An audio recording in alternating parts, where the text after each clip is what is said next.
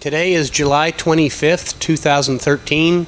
We're in Santa Ana, California at the headquarters of Pure Aqua, and we're preparing to ship two mixed bed deionizers. Uh, they're identical, 30 inch diameter media tank. Uh, the, the plumbing is designed to uh, uh, accept a flow of about 50 GPM. Most often, mixed bed deionization is used as a polisher after reverse osmosis or another uh, purification process. Uh, as an example, from RO permeate of less than 10 ppm TDS, after the mixed bed deionizer, you would expect a conduct or a uh, TDS of less than one.